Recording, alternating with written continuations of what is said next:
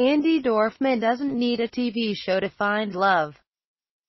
The former Bachelorette star allegedly hooked up with country singer Sam Hunt after the 2015 Country Music Awards Festival on June 11, according to a new report.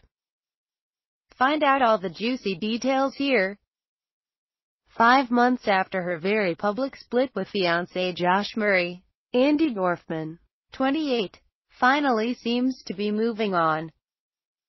The one-time Bachelorette star allegedly engaged in a hot hookup with country superstar Sam Hunt, 30, after the 2015 Country Music Awards Festival on June 11.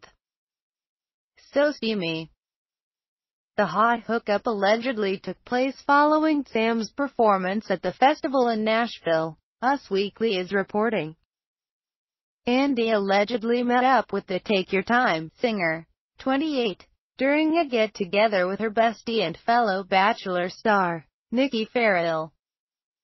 Andi even called it an amazing weekend, while captioning some awesome selfies on Instagram. Last day with this country bumpkin.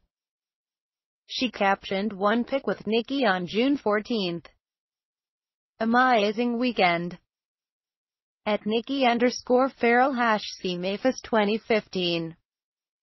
While we're super excited about this potential hookup between Andi and Sam, a source told the site it might have just been a one-time thing. I think I've dated enough in the past year, Andi told us in April. Yeah, I think my number is good. It's gonna hold me over for a while.